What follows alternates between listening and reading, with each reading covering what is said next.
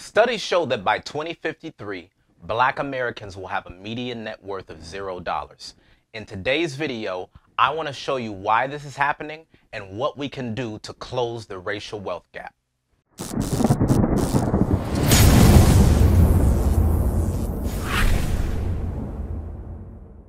What's going on, guys? It's Uzziah, your success strategist, and I'm on a mission to make black men as successful as possible. So please smash that like button and don't forget to subscribe because this is a message that needs to be heard all around the world. Now, we got a big problem in our community.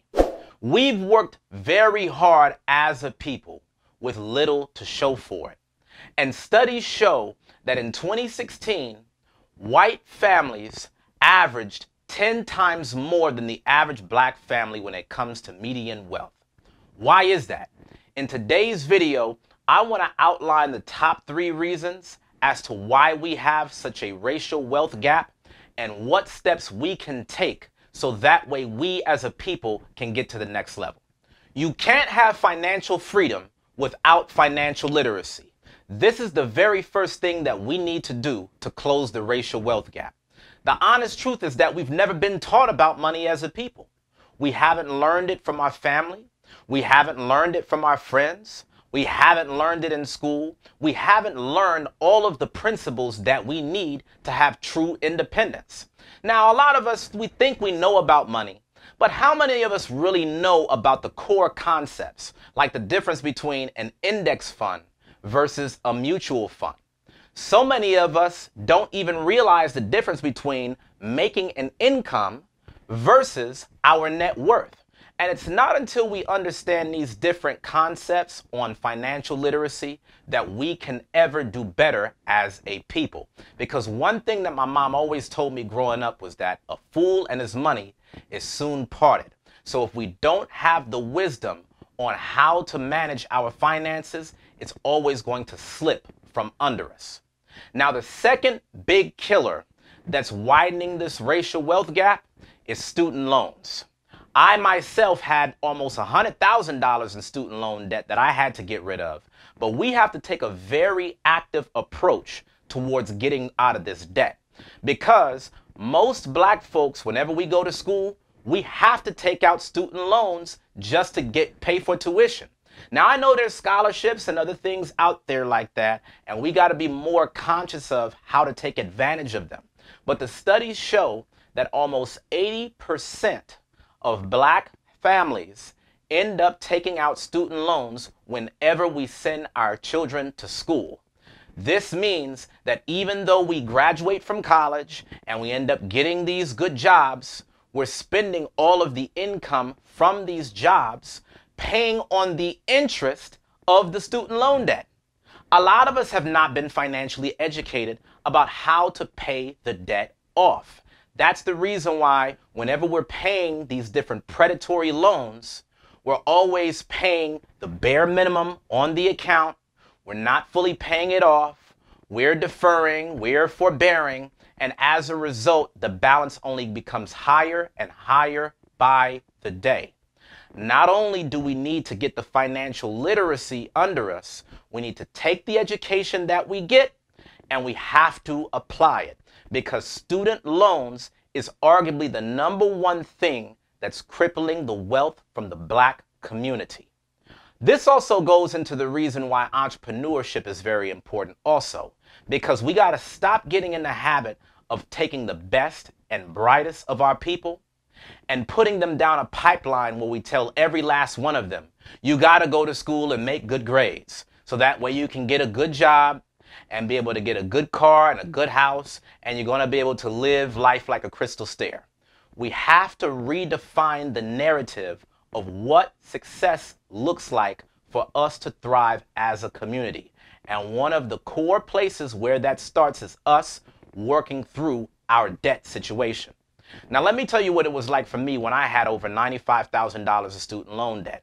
So, like most of us, whenever I was going to college, I didn't know what I was getting myself into when I was signing up for all of this debt. I thought that it was free money. I was just trying to get out of my parents' house and cut up. And quite naturally, as a result, once I graduated from college, I never thought about the seriousness of all of the debt that I had racked up. When I graduated, the cost of my student loans every month was more than the cost of my monthly rent. It was by far my single largest expense. And if you don't know how to prepare for that in advance and start to maybe offset some of that by paying it down as quickly as possible or taking out scholarships, we're going to continue to go into a deeper and deeper hole. We also, thirdly, have to change the culture within our community. We got to get off of this flex culture, y'all. We're living in this social media era where everybody is trying to flex on everybody.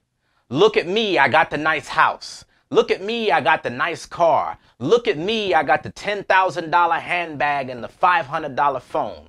We are constantly spending money that we don't have to impress people that we don't like. And that is a big deciding factor as to why we're working hard with nothing to show for it. When we're talking about raising our net worth as a community, that starts by raising our assets because our net worth is simply the difference between your assets and your liabilities. We're oftentimes taking out all kinds of liabilities thinking that they're assets. We do things like buy up homes, not knowing that a house eh, backed by a mortgage is not an asset, it is a liability because it's not putting any more money in your pocket. We oftentimes think that just by going to school, we're guaranteed to have a great job once we get out of college. And then so many of us struggle to find employment. All the while, student loan debt is racking up more and more.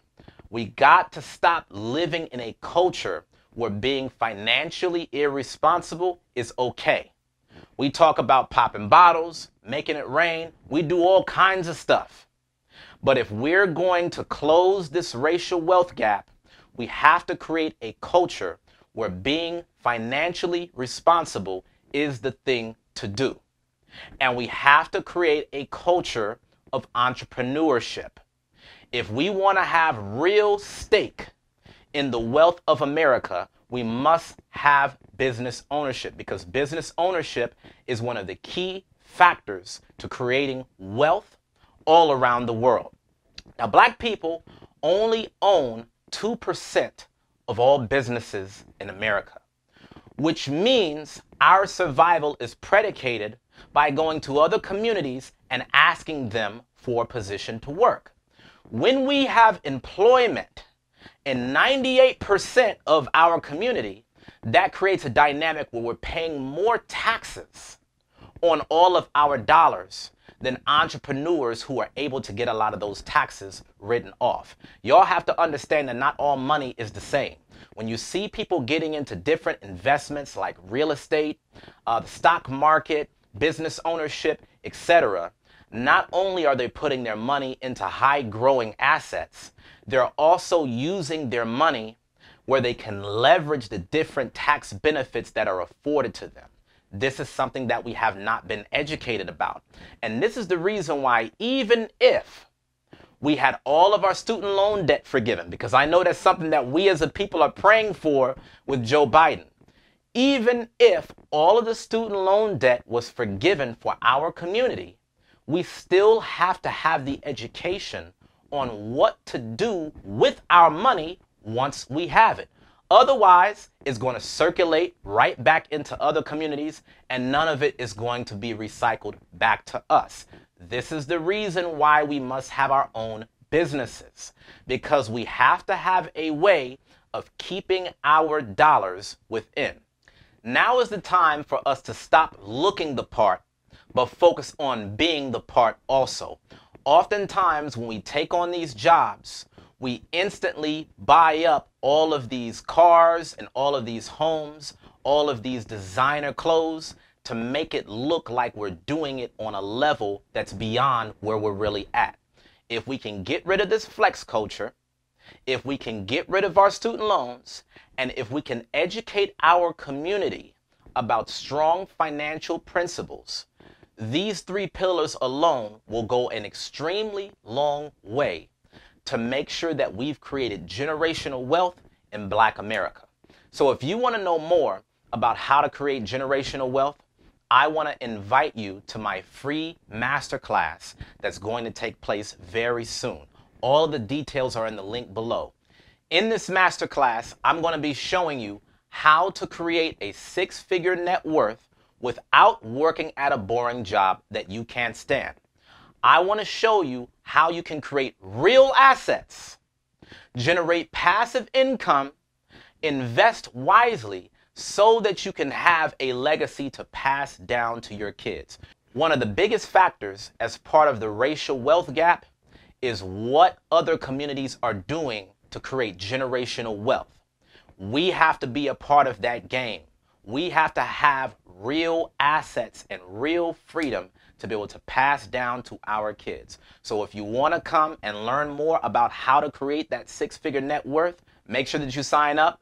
The link is in the description below. Lastly, I want you to leave me a comment and I want you to tell me what you're going to do to help close the racial wealth gap. Are you looking to start your own business where you can give employment to others in the community? Are you looking to invest so that way you can start creating passive income? What is the number one step that you're looking to take in 2021 to make sure that you are lessening the racial wealth gap. So that way, your family, your friends, and your kids have the exact same opportunities as everyone else. Leave me a comment, and I'll see you on the next lesson of Black Men's Career.